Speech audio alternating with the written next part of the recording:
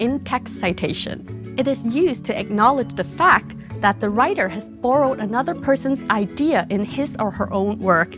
This acknowledgement is essential in academic writing to demonstrate academic integrity. I see. This concept is new to me. I haven't learned this in my secondary school before. Is it okay if I do not include any in-text citations when I work on my assignments? Of course not. If you refer to others' ideas without making a proper and explicit reference to them, you are committing plagiarism, which is a serious academic offense.